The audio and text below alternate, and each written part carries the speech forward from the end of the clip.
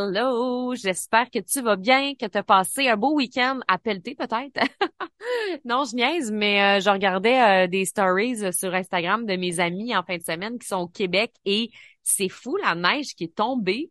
Ça me fait capoter. Je voyais euh, mes amis se faire un petit igloo dehors, puis j'étais comme oh my god, il y a donc bien de la neige. Mon chum qui est un passionné de météo, il aime tellement la météo qu'il tripe plus que moi que quand moi je travaillais à la télé pour annoncer la météo. Et là, mon chum me disait, Steph, savais-tu que cet hiver, ça a été tellement un hiver intense que c'est le deuxième hiver au Québec où il y a le plus neigé en 50 ans. J'étais comme, oh my God. J'adore l'hiver. J'aime faire du ski de fond. J'aime faire de la raquette. J'aime être dehors, profiter du beau temps, faire des spas dehors. Toutes ces choses-là, j'aime ça. Mais parle-moi pas de pelletage. Parce que ça, honnêtement, j'aime pas pelleter. Fait que, honnêtement, petit clin d'œil à mes amis, alors que moi, en fin de semaine, je suis en train de faire un grill sur la plage avec une petite chute. Je me disais, ah, je suis en gratitude de pas avoir à sortir la pelle en fin de semaine. Mais bon, il a fallu faire la vaisselle parce que faire un grill sur la plage, ça demande beaucoup de vaisselle après. Mais, tu sais quoi? Je pense que je préfère faire la vaisselle que pelleter. bon, mon but aujourd'hui, c'est pas de t'écœurer euh, avec euh, mes joke plans.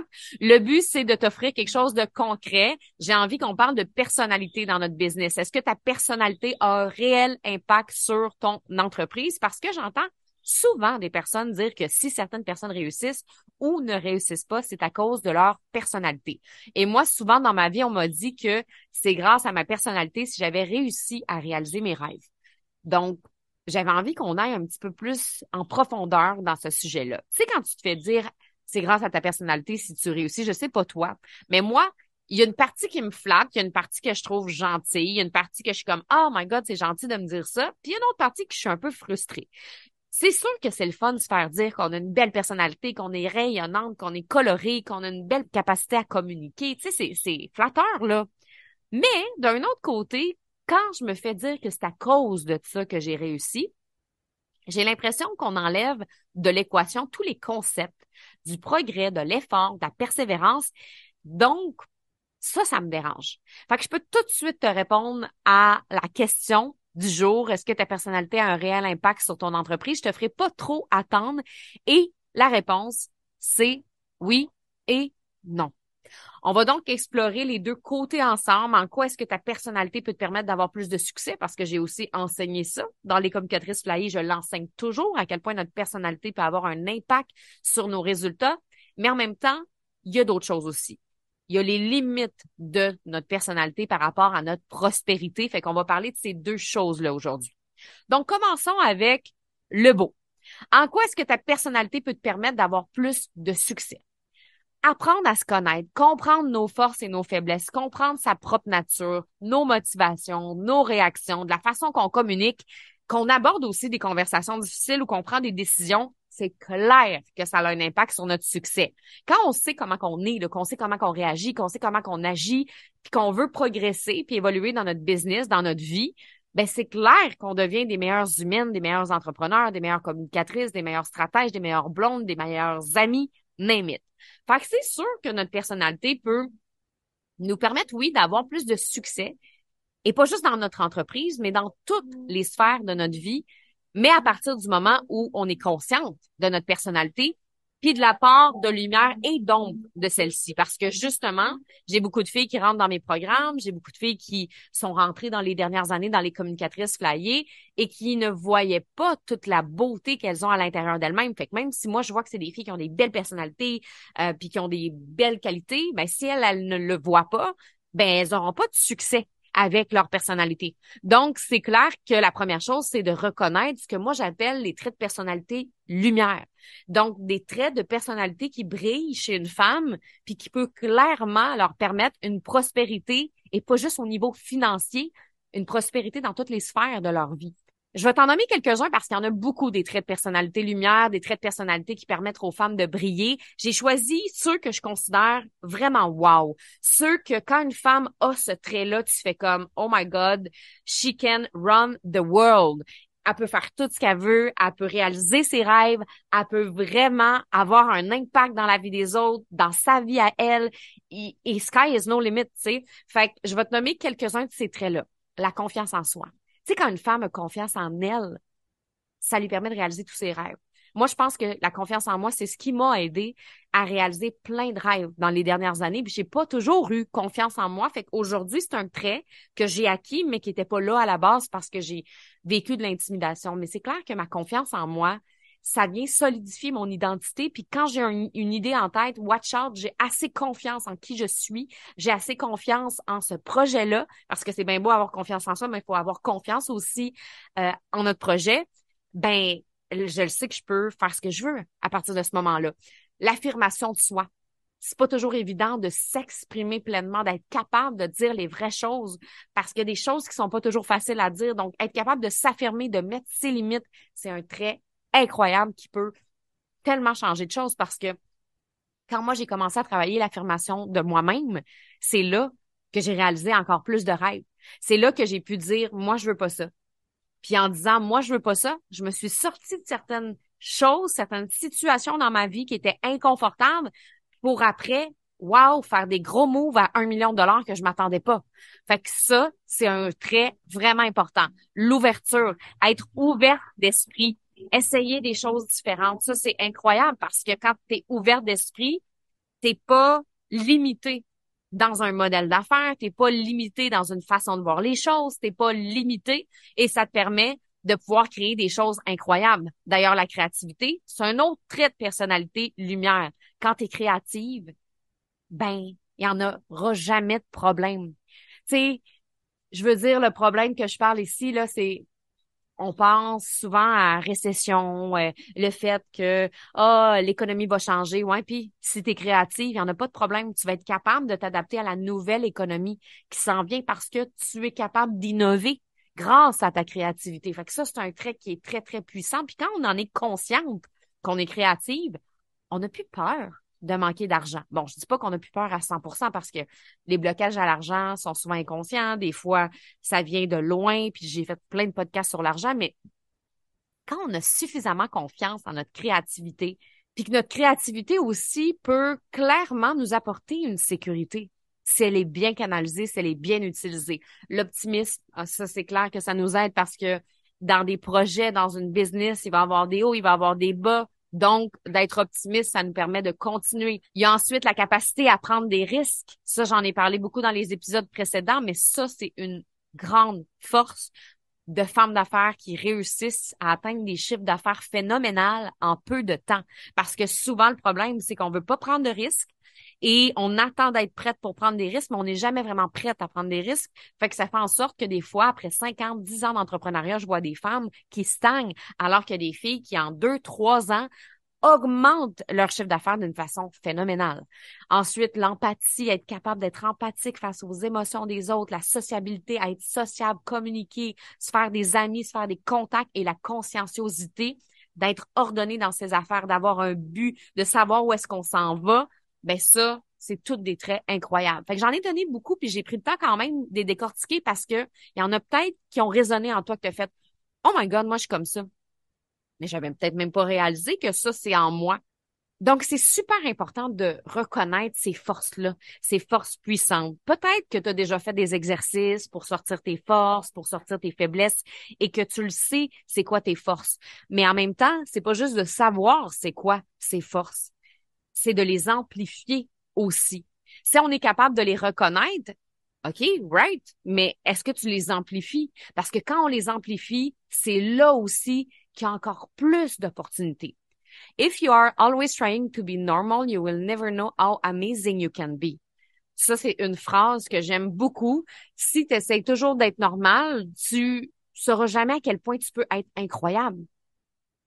Le contraire d'être incroyable, c'est justement d'être ordinaire. Et il y a des parties de nous qui sont clairement ordinaires. C'est pas celle qu'on préfère, c'est pas celle qui nous embellissent. La partie ombragée qui nous dérange, nous fait honte même parfois. Et il faut être consciente aussi de ces traits de personnalité un peu plus gris. Mais là, avant de rentrer dans les traits de personnalité un peu plus gris, je veux revenir un peu sur le fait d'être incroyable et de mettre de l'avant ces traits et de les amplifier. Si tu es une fille qui s'assume dans la vie, assume-toi plus. Si tu es une fille qui est confiante dans la vie, sois encore plus confiante. Si tu es créative, sois encore plus créative. Si tu es empathique, sois encore plus empathique. Si t'es sociable, sois encore plus sociable. T'as pas à rester normal à ce stade-là. Des fois, on s'empêche d'être encore plus confiante parce que là, on est comme, ben là, tu sais, sinon, je vais avoir l'air de quoi face aux autres qui sont pas confiantes.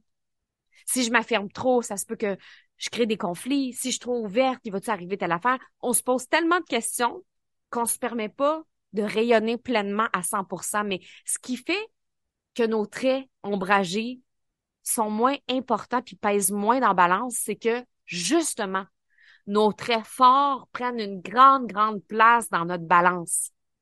C'est ça qui fait une différence. Donc, c'est un peu le concept de si tu es toujours dans la normalité, ben tu pourras pas voir à quel point tu es incroyable. Donc oui, c'est important d'amplifier nos traits qui sont déjà beaux, nos traits qui sont déjà forts, nos traits qui sont déjà lumineux.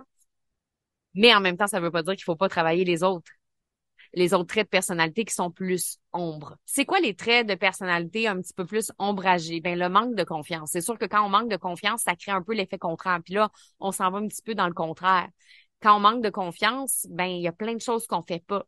J'ai rencontré une femme dans les dernières semaines. Ben, en fait, j'en rencontre plein, là, mais tu sais, j'ai rencontré plein de femmes, mais je pense à une femme incroyable que j'ai rencontrée dans les dernières semaines, que ma team Flyer a rencontrée aussi. Puis c'est vraiment une fille qui que moi, dans ma tête, je me dis, cette fille-là, si elle met telle, telle, telle énergie de cette façon-là, c'est clair qu'elle réussit.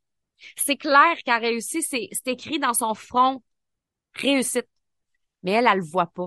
Elle, elle le voit pas parce qu'elle manque de confiance en elle. Elle manque de confiance en elle. Elle pense qu'elle sera pas capable. Elle a le syndrome de l'imposteur. Puis moi, dans ma tête, je suis comme non. Si t'enlèves ton manque de confiance puis que tu bâtis ta confiance, c'est fou tout ce que tu peux réaliser. Mais en même temps, ça m'appartient pas. En même temps, c'est elle qui a travaillé ça, mais c'est un trait de personnalité qui nuit à son succès. Tendance aux émotions négatives, ça, c'est un autre trait qui peut avoir un impact euh, qui est négatif, évidemment. Quand on a toujours la tendance aux émotions négatives, puis qu'on voit tout ce qui est négatif, ben on, a tendance à accumuler les scénarios, les histoires, anticiper ce qui ira pas bien, de voir tout le mauvais côté des choses. OK, ben si je réussis pas ça, je pourrais pas payer mon adjointe. Si je fais pas ci, il va arriver ça. On est beaucoup dans cette espèce de mindset de caca-là.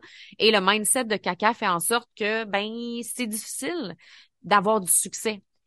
Puis à plusieurs niveaux dans sa vie, pas juste en business, là, je parle de business, mais un mindset de caca dans ses relations, ça crée pas des relations saines. Si tu es toujours en train de penser que tes amis parlent dans ton dos quand t'es pas là ou que ton chum euh, te trompe, peu importe là, ben c'est clair que ça va avoir un impact sur comment tu vas te sentir, sur comment tu vas réagir, sur les comportements que tu vas avoir. Difficulté à prendre des risques ou des décisions, ça on en a tantôt, c'est le contraire. Mauvaise gestion de l'anxiété.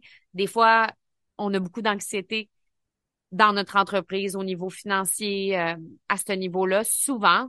Puis ça fait en sorte que ben on n'avance pas parce qu'on a peur. Puis l'anxiété créée par nos finances fait que on stagne puis on reste un peu pris dans cette espèce de bouillon là. Alors que si on va brasser le bouillon un peu, ben là ça peut changer de grandes choses. Je parlais avec une amie justement qui a toujours été ce genre de fille là qui voulait jamais regarder dans son compte de banque cette fille-là, là, souvent j'y ai dit à mon ami, écoute, là, faut que tu regardes tes chiffres, ça n'a pas de bon sens. Elle était en retard de, de plusieurs mois dans ses impôts. Elle va peut-être se reconnaître quand elle va écouter l'épisode. En retard de plusieurs mois. Puis c'était tout le temps remettre à plus tard, remettre à plus tard, remettre à plus tard. Puis là, à un moment donné, j'étais comme, OK, je sais pas ce que t'évites, mais t'évites clairement quelque chose présentement. Mais je pense pas que ça t'aide parce que ça fait juste amplifier, tu sais. Fait que là, t'es de plus en plus stressé tu de plus en plus anxieuse, tu es de plus en plus frustrée et ça a un impact sur la confiance en soi parce qu'on réussit pas à aller jusqu'au bout. Et là, récemment, elle a fait un ménage de tout ça. Pour la première fois, elle a osé regarder ses chiffres en pleine face, finir ses impôts, prendre le temps de regarder sa structure et elle s'est sentie tellement bien que ça lui a donné une espèce de boost de confiance dans sa business incroyable. C'est juste fou. Donc, tous ces traits-là, quand on les travaille, puis qu'on affronte ces traits-là en pleine face, ça a un impact. La communication défaillante aussi, quand on a la difficulté à communiquer, ça a un impact sur toutes les sphères de notre vie, difficulté à s'affirmer, puis tous les traits lumière utilisés à l'excès. Fait que tous les traits que j'ai dit précédemment, si on les utilise à l'excès, ben ça sera pas bon. Tu sais, tantôt, euh, je parlais euh, d'être plus empathique. Ben, il y a, un petit peu un, un danger là-dedans. Être plus empathique, ça veut pas dire de s'oublier. Et il y a des femmes qui sont très, très empathiques qui s'oublient. Et là, quand on est trop empathique et qu'on oublie de l'être avec soi-même et qu'on oublie de prendre du temps pour soi, mais ben là, ça devient un problème. Et ça peut devenir une qualité qui devienne un défaut. On le sait, hein, n'importe quoi l'excès, c'est ce que ça crée. Fait que quand on est consciente de comment notre machine intérieure fonctionne, ben après, on peut juste faire des réajustements pour que notre machine soit plus performante et alignée à ce qu'on souhaite réellement. Au début, quand j'ai eu la West Flyer, je vivais beaucoup de frustration parce que je tombais souvent en panne. Et une des premières pannes que j'ai eues, c'est une panne que j'aurais pu totalement éviter. J'ai fait une panne d'essence et c'était un peu frustrant, voire même malaisant parce que j'ai tombé en panne juste en face de la station d'essence. Fait que dis-toi que j'arrivais à la station d'essence pour mettre du gaz, puis finalement, j'ai arrêté là. Et en fait, j'aurais pu l'éviter. J'aurais pu l'éviter parce que dans le fond, j'ai vu ma petite aiguille baisser puis se rapprocher de, bon, j'aurai plus d'essence bientôt, se rapprocher du E. Mais tu sais, moi, ma voiture, là, la voiture que j'ai, qui, je sais pas c'est quoi l'année de ma voiture, là, 2012, 2013, je, me souviens jamais des années, mais tu sais, moi, ma voiture que j'ai présentement, là, qui est une Toyota, c'est une Toyota, ma voiture? Écoute, Phil pourra, euh, pourra mettre un petit son pour dire si j'ai réussi ou pas mon test de c'est quoi ma voiture. Ça fait tellement longtemps que je l'ai pas conduit, ma voiture au Québec. Mais ma voiture, en fait, que j'ai au Québec, là, si je suis dans le E, je peux rouler encore avec, là, sans problème. Mais ma West Flyer, la réponse est non. Je peux pas rouler avec ma West Flyer quand il y a plus d'essence. Il y a plus d'essence, il y a pas de réserve. Mais là, maintenant, je le sais. Maintenant, je sais comment qu'elle marche ma machine. Je sais comment qu'elle marche ma Westphalia. Donc, je n'ai plus jamais fait de panne d'essence. Parce qu'aussitôt que je vois qu'on est aux trois quarts, comme let's go, ben qu'il reste un quart, comme let's go, je m'en vais mettre de l'essence. Même des fois à la moitié. J'ai appris de ça. Et il y a une autre affaire aussi que j'ai appris avec la Westphalia, c'est qu'après plusieurs heures de conduite, le moteur devient super chaud.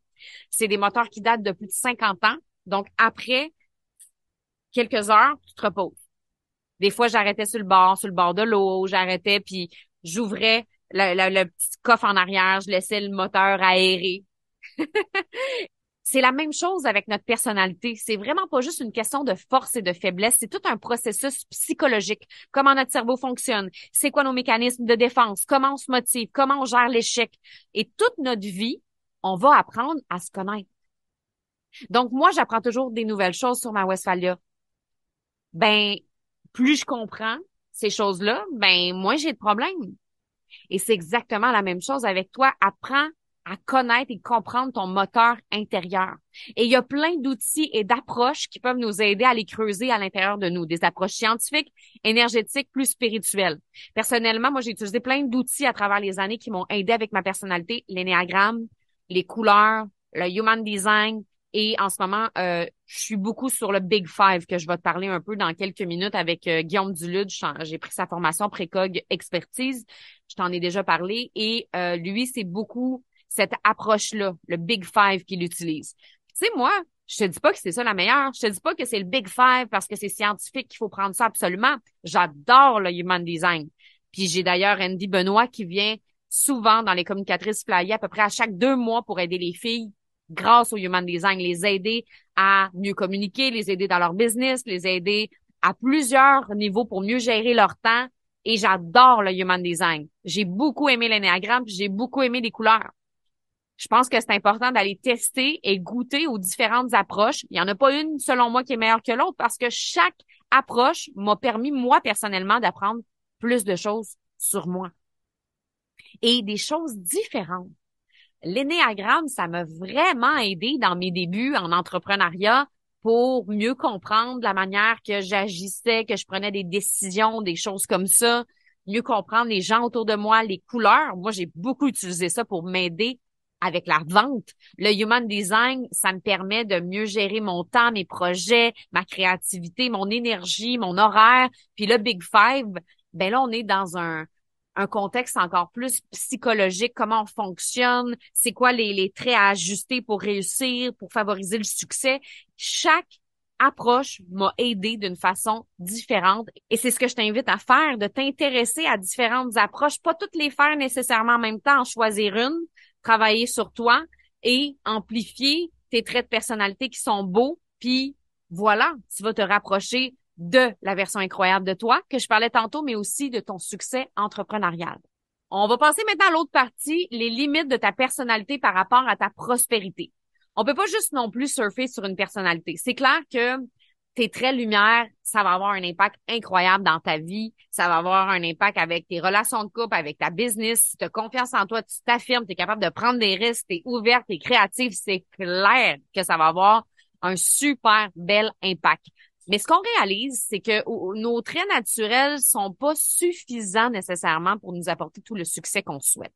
On a besoin aussi d'aller développer d'autres traits. Et je te disais, il y a de ça quelques minutes que en ce moment, moi, je suis beaucoup dans la théorie du Big Five avec Guillaume Dulude. C'est ça que je regarde présentement euh, dans sa formation. Fait que je vais te parler un peu de ça. Moi, j'ai beaucoup appris à ce niveau-là sur les cinq grands traits de personnalité qui existent. On va pas les approfondir, mais ça va t'aider à comprendre où est-ce que je veux en venir quand je te dis que tes traits naturels sont pas suffisants pour t'apporter du succès, puis il faut que tu ailles en développer d'autres. Il y a cinq traits de personnalité qu'on parle dans le Big Five. Le neuroticisme, l'ouverture, l'extraversion, l'agréabilité, la conscienciosité. Et on possède en nous chaque trait à des niveaux différents. Fait que ça se peut que toi, ton niveau de neuroticisme soit super élevé, ton niveau d'ouverture soit faible, ton extraversion soit médium, on va dire ça comme ça, et ça va avoir un impact sur plein de facteurs, tes comportements, tes prises de décision, ton anxiété, ta motivation, plein de choses. Et par rapport à ça, ben ça se peut que ça soit plus facile pour toi d'avoir du succès, puis peut-être que ça va l'être moins, tout dépendant des traits qui sont forts chez toi. Le neuroticisme, je vais prendre le temps de les expliquer un à un rapidement. C'est quelqu'un qui a une tendance aux émotions négatives. J'en ai parlé un petit peu tantôt de la tendance aux émotions négatives qui peut nous nuire. Fait que on voit le pire scénario, on voit ce qui marchera pas, on voit le côté négatif par exemple d'un projet. Si on a un taux de neuroticisme élevé, ben ça se peut qu'on se lance pas dans certaines choses parce qu'on a trop d'anxiété ou d'émotions négatives reliées à ça, fait que ça nous donne pas envie. L'ouverture. Une personne qui est curieuse et ouverte d'esprit. Donc, c'est une personne qui est ouverte d'esprit, une personne qui est curieuse, fait que c'est un beau trait à la base, mais encore une fois, ça dépend du, du taux qu'on a en nous. Ça dépend de, on est-tu vraiment ouverte ou on est moyennement ouverte parce que si on est très très très très très très très ouverte, ça se peut qu'on se prenne mille formations parce que genre on est curieuse, on est ouverte d'esprit, on veut prendre une autre formation, on va être sûr. Puis ça se peut que ça nous nuise aussi. Fait que c'est toujours une question de balance. Ensuite, on a l'extraversion. Ça, c'est une personne qui est sociable, qui peut s'affirmer facilement. Puis évidemment, ça, on peut l'avoir en nous à différents degrés. L'agréabilité, une personne qui est agréable, sensible, empathique. L'agréabilité, encore une fois, ben une personne agréable, on aime ça. Une personne sensible, on aime ça. Empathique, on aime ça. Mais comme j'ai dit tantôt, si tu es trop empathique, tu vas oublier des fois tes propres besoins et là, ça devient problématique parce que tu t'éloignes de ce que tu souhaites réellement à l'intérieur de toi. Et le dernier trait, c'est la conscienciosité. Une personne disciplinée, ordonnée, orientée vers les buts. Et encore là, si c'est à l'extrême, ben si tu es trop discipliné, trop ordonné, ben ça se peut que tu n'arrives pas à utiliser ta créativité, à innover, à prendre des décisions avec ton intuition. Fait c'est sûr qu'il y a des traits qui, naturellement, peuvent nous aider à atteindre plus facilement notre succès. Quelqu'un qui a une belle conscienciosité, qui est discipliné, qui est ordonné, qui sait c'est quoi ses buts. En affaires, c'est une super belle qualité, c'est un super de beau trait. Si tu as ça naturellement, c'est incroyable. C'est sûr que c'est incroyable d'avoir de la conscienciosité puis de être ordonné. Euh, ça nous aide à faire des stratégies. Tu sais, c'est clair que ça a un impact. Puis je le vois dans mes cours, dans mes formations. Tu sais, si j'ai une fille qui est très consciencieuse, je le sais tout de suite qu'elle va être capable de réussir. Mais des fois, cette fille-là, ça se peut qu'elle soit pas très extravertie, puis que elle manque de sociabilité, puis que c'est difficile pour elle de parler de ses projets. Fait que tu sais, on a tout le temps des trucs à travailler, peu importe c'est quoi notre personnalité. Et là, je vais donner un exemple concret par rapport à moi-même, OK? Avec mes traits naturels. Parce que quand les gens me regardent à première vue, ils sont comme Ah, ben oui, toi, ta personnalité, c'est facile, tu as tout ce qu'il faut pour réussir. Moi, mes traits naturels, c'est clair qu'ils sont très visibles. Je suis une personne qui est ouverte d'esprit, je suis créative, je suis sociable. On le voit ça. Tu sais, comme quand je parle dans mes lives, quand je parle dans mes podcasts, euh, ben je suis ouverte, euh, je suis créative, j'aime ça jaser, j'ai tout ça. Des fois, fait que ça, on le voit. Mais qu'est-ce qu'on voit pas qui peut me nuire? C'est que moi, j'ai un neuroticisme élevé. Puis j'ai une conscienciosité naturelle basse. Ça veut dire quoi ça en français? Ben moi, je suis une fille qui est désordonnée, qui pourrait facilement se perdre dans mille et un projets. Et là, je sais qu'il y en a qui se disent, mais là, Steph, t'enseignes la structure, puis euh, c'est, c'est quelque chose aujourd'hui que tu aides les femmes à faire avec. Oui, parce que j'ai développé ce trait-là. J'ai développé ce trait-là et aujourd'hui, je suis structurée, organisée et ordonnée. Mais ce n'est pas un trait naturel. Ce qui veut dire que si je tombe dans un moment de ma vie où est-ce que euh, j'ai pas ma routine, que j'ai pas mes outils ou quoi que ce soit, c'est sûr que je suis désordonnée. Si je m'en vais dans le sud avec mon amie Julie Moisan-Dufour, c'est clair que les deux ensemble, il y a du linge partout. C'est lit à terre, euh, sur le balcon. Euh, ça, c'est mon tempérament naturel. Je suis traîneuse, désordonnée, il va y avoir des post-it partout, du linge partout. C'est moi, c'est qui je suis. Et souvent, ceux qui ont une extraversion élevée vont souvent avoir euh, ce, ce, côté-là, euh, ce, cette conscienciosité-là, des fois un peu plus faible. Pas nécessairement, mais tu sais, moi, je suis clairement désordonnée naturellement. Par contre, j'ai développé ce trait-là qui fait qu'aujourd'hui, ben, je réussis dans ma business à être structurée. C'est pour ça que j'enseigne ça. Parce que je suis la première, moi, à être euh, un peu partout, à avoir 50 cahiers de notes, puis euh, dessiner d'un bord, puis... Fait je les comprends, ces filles-là, d'être comme ça. Je l'ai vécu, mais j'ai développé des systèmes qui me permettent aujourd'hui d'utiliser ma créativité, mais de la canaliser différemment. Et je suis une personne aussi qui a une tendance aux émotions négatives naturellement. Ça fait longtemps que je vis de l'anxiété depuis que je suis enfant depuis que je suis jeune que je vois les choses négatives, les côtés négatifs de qu'est-ce qui pourrait arriver de grave, puis que je vois des scénarios catastrophes arriver avant même qu'ils arrivent dans ma tête. Je suis comme, oh my God, oh my God, ça, ça pourrait arriver, ça, ça pourrait arriver. Mettons qu'on prendrait ces deux traits-là puis qu'on les met à côté. Je suis désordonnée, je me perds dans mes projets, puis en plus, euh, j'ai tendance aux émotions négatives naturellement. Ben écoute, je serais pas une bonne entrepreneur je serais pas une bonne entrepreneur, je suis désordonnée, j'ai 50 millions de cahiers, j'ai tendance aux émotions négatives. Fait que vite de même, là, avec mes traits naturels, je ne pourrais pas réussir. Et pendant des années, j'étais comme ça. J'étais comme ça pendant des années. À chaque fois que je vivais une émotion négative, euh, je la fuyais parce que j'aimais pas ça. J'avais tellement peur, je voulais pas l'affronter. Fait que je finissais par prendre des décisions illogiques. Puis là, on changeait de projet 50 millions de fois. Ça, c'est l'ancienne Steph. La nouvelle Steph a appris à se comprendre. Puis aujourd'hui, j'ai des outils qui m'aident à, alléger ces émotions négatives-là, à les écouter, à les accueillir, à les transformer, puis j'ai des systèmes pour être plus ordonnés. Donc, c'est vraiment important de comprendre que notre personnalité au naturel ne peut pas être à l'origine de tout le succès qu'on a. On a besoin d'aller gérer certaines choses, comme moi, j'ai dû mieux gérer mon neuroticisme, puis être plus consciencieuse. Puis ça, c'est important à comprendre. Un des exemples que je donne souvent dans mes formations, dans mes cours, c'est l'exemple du poids. Puis j'en ai peut-être déjà parlé dans mes podcasts, mais tu sais, des fois, on a une amie là, qui boit. Euh, moi, j'avais une amie comme ça, elle pouvait boire euh, cinq coques par semaine, puis elle restait toujours mince. Puis il y a des filles qui font full, full, full, full attention. J'avais une autre amie, elle, elle allait au gym genre cinq fois semaine, elle mangeait de la salade, l'huile d'olive, elle mangeait pas de pain, pas de pâte, pas de patates, puis elle avait cette tendance-là à engraisser quand même, fait que c'était un peu frustrant pour elle. Alors que l'autre pouvait boire des cokes sans arrêt, sans engraisser. Ben c'est normal parce qu'ils n'ont pas le même métabolisme. Des fois, c'est même pas juste une question de qu'est-ce que j'ai mangé, qu'est-ce que j'ai pas mangé. Il y a des personnes qui ont cette tendance naturelle-là à rester minces et il y a des personnes qui ont cette tendance naturelle-là à prendre un peu plus facilement du poids. Ben, c'est un peu ça aussi avec notre personnalité. Dans le sens que on, va aller travailler sur des traits pour les développer. Moi, je suis une fille qui est plus structurée aujourd'hui. Je suis plus organisée, je suis plus ordonnée. J'ai plus de facilité à gérer les émotions négatives, puis euh, à me sentir bien, puis à être en confiance, puis tout ça. Mais en même temps, si je suis dans une période de ma vie où je m'écoute pas, si je suis dans une période de ma vie où ça rock puis que je suis vraiment dans mon excès d'énergie masculine, mes traits naturels vont revenir. Je vais redevenir désordonnée. Je vais redevenir, euh, je vais, l'anxiété va augmenter parce que c'est moi au naturel. C'est moi raw. Fait que c'est pas mauvais qui je suis. C'est ce qui je suis. Mais en même temps, c'est super important de comprendre que la personnalité à elle-même, notre personnalité naturelle, c'est pas suffisant pour avoir du succès. Parce que t'as bien beau être belle, t'as bien beau être bonne, t'as bien beau être créative, t'as bien beau être ouverte d'esprit, il y a des traits qui te nuisent aussi et on doit aller les travailler.